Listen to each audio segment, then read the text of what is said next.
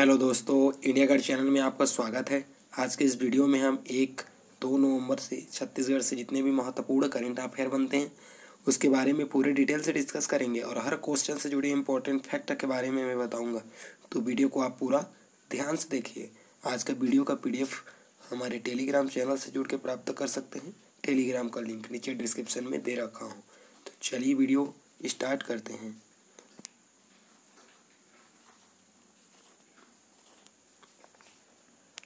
Chhattisgarh current affair का हमारा पहला क्वेश्चन हाल ही में मिनी जंगल सफारी कहाँ बनेगा? तो इसका करेक्ट आंसर हो जाएगा ए अंबिकापुर। क्वेश्चन के स्पष्टीकरण देखते हैं।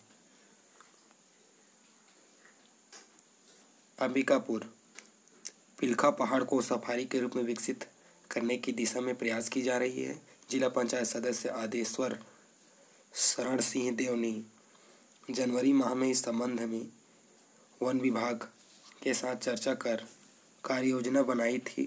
कोरोना के कारण इस पर कुछ विराम लगा, किंतु अब इस शीघ्र ही वन विभाग कार्य करेगा।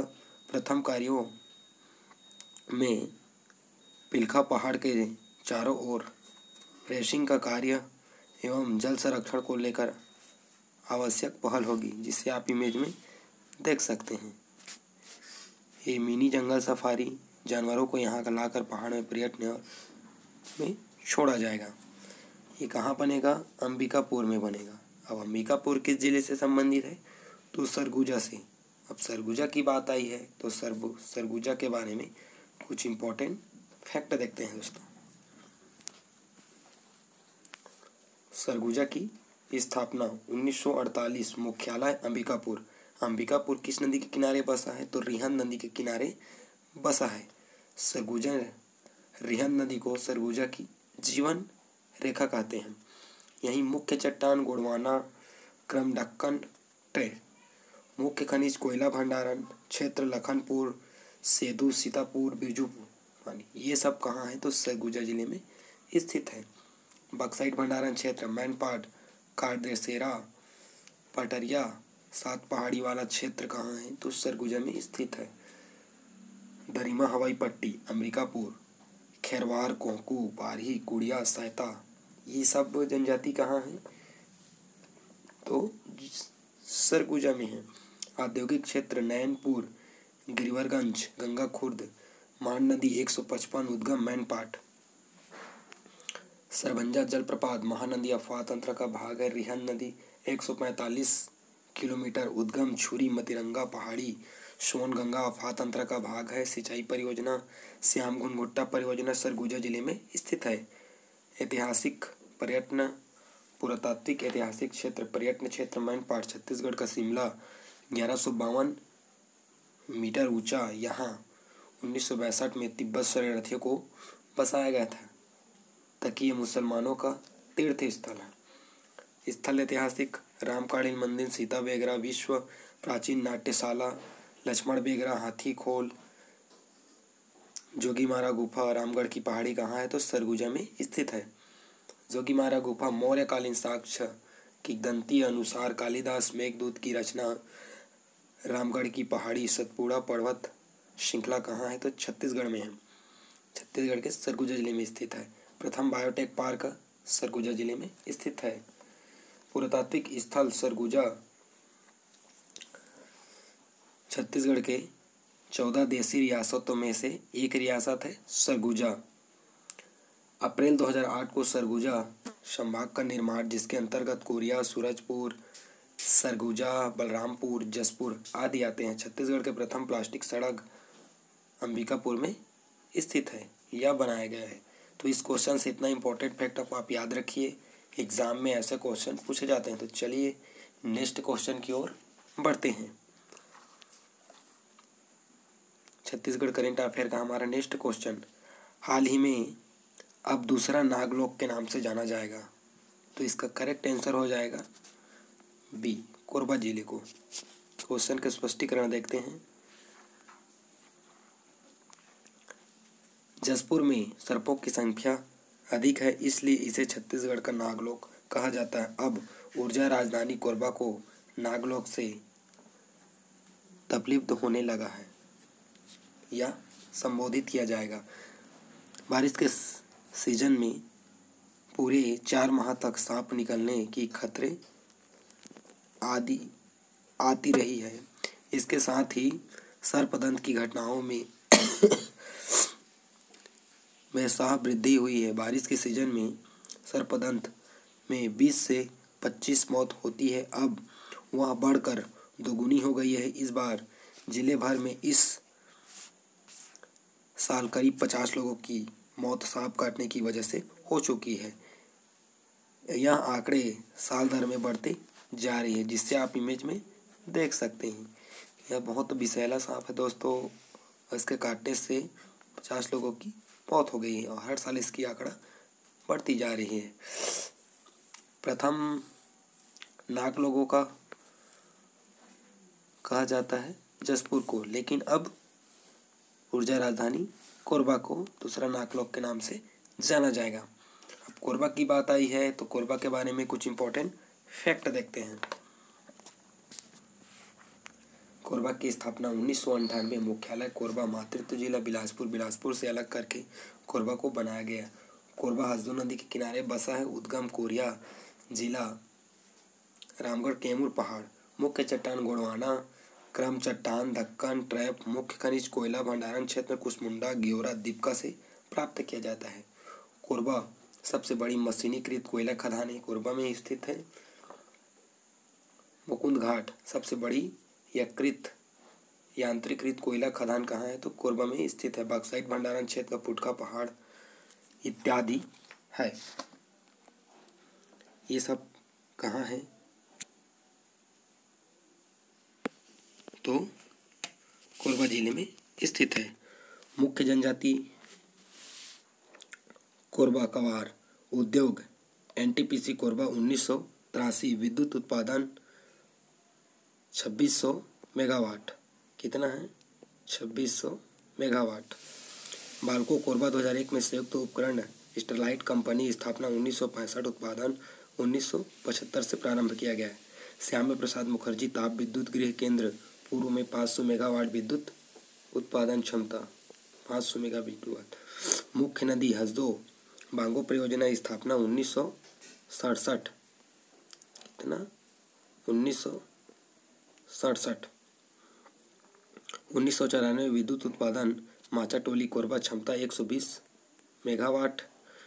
विशेष पहली महिला सांसद मिनी माता के नाम पर परियोजना का नामकरण मिनी बाँध। परियोजना प्रदेश का सबसे ऊँचा बाँध, सतासी मीटर। तुमाड़ छत्तीसगढ़ का कलचुरियों की प्रथम राजधानी। पाली, बाणवंशी शासकों की राजधानी। प्राचीन शिव मंदिर, जलालदेव प्रथम जीर्णोद्धार करवाया गया। छुरी कोसगाई, कलचुरी शासक महेंद्र प्रसाद की राजधानी। चैतुरगढ़, छत्तीसगढ़ का कश्मीर कहा जाता है। कलिंगराज द्वारा महिषासुर, मर्दानी माता महामाया मंदिर कहाँ स्थित है? कोरबा में स्थित है। लाफागढ़, छत्तीसगढ़ का चित्तौड़ कहा जाता है? कुद्रमाल कबीर पंथियों की पवित्र स्थल, मुक्त मणि साहब द्वारा स्थापित किया गया है। ये सब कहाँ है? तो कोरबा में ही। इस क्वेश्चन से इतना इंपॉर्टेंट फैक्टर को आप याद रखिए। एग्ज़ाम में ऐसे क्वेश्चन ज़रूर पूछे जाते हैं।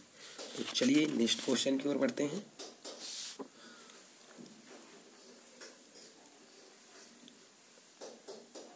हाल ही में प्रसिद्ध ऐतिहासिक मेला मामा भाजा मंदिर किस ज़िले में से संबंधित है। तो इसका करेक्ट आंसर हो जाएगा सी महासमुंद में होने वाला मेला। क्वेश्चन के स्पष्टीकरण देखते हैं।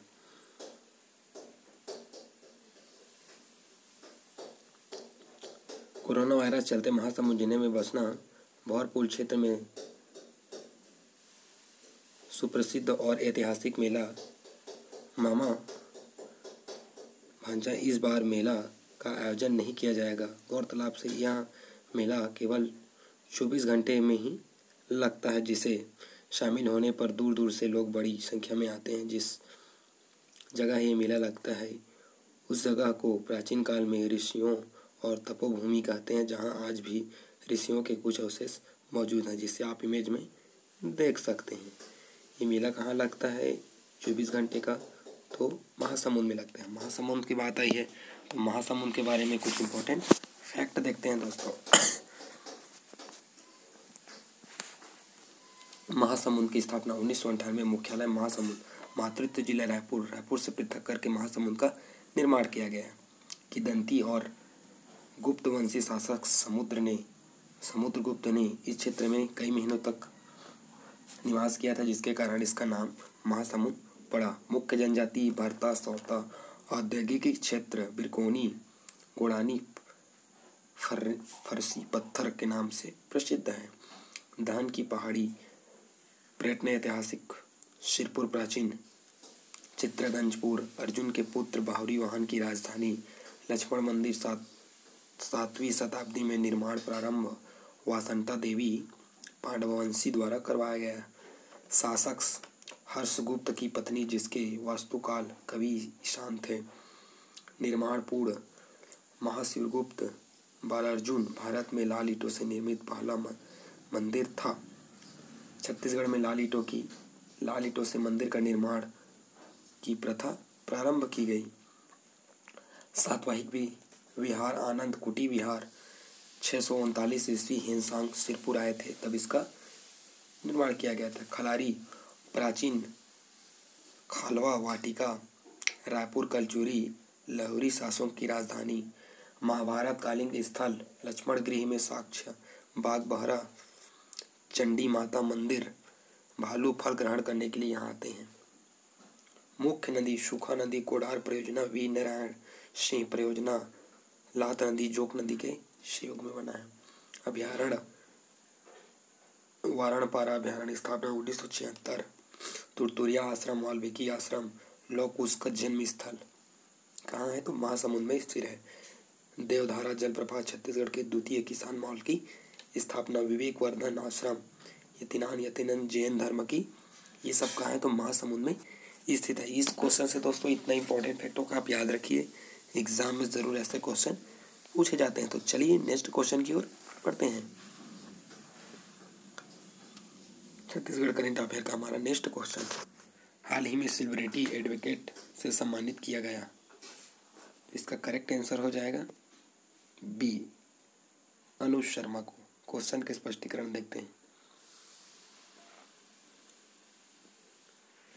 छत्तीसगढ़ लोकप्रिय फ़िल्म अभिनेत्री पद्मश्री अनुज शर्मा को यूनिसेफ ने सेलिब्रिटी एडवोकेट के रूप में चयनित किया। अनुज यूनिसेफ पहले सेलिब्रिटी एडवोकेट अब स्वास्थ्य, पोषण, स्वच्छता, शिक्षा और बच्चों के संरक्षण को बढ़ावा देने और राज्य में जागरूकता पैदा करने के लिए यूनिसेफ का साथ देंगे। अनुज ने कहा कि राज्य में सेलिब्रिटी एडवोकेट के रूप में यूनिसेफ के साथ जुड़कर बेहद खुश हूँ। मेरा दृढ़ विश्वास है कि हर बच्चा जीवन में एक बेहद शुरुआत और हकदार है। कोई भी बच्चा कुपोषित ना हो और ना ही ही रोके जाने योग्य बीमारियों से बच्चों की मृत्यु हो। उन्होंने कहा कि यूनिसेफ के साथ जुड़कर हर बच्चे का सहयोग करना चाहते हैं। से आप इमेज में देख सकते हैं। ये हैं अनुज शर्मा, अभिनेत्री, लोकप्रिय, पद्मश्री से इसको सम्मानित किया गया है। यूनिसेफ के साथ। ठीक है। तो इस क्वेश्चन से इतना इम्पोर्टेंट फैक्टर को आप याद रखिए। चलिए नेक्स्ट क्वेश्चन की ओर बढ़ते हैं।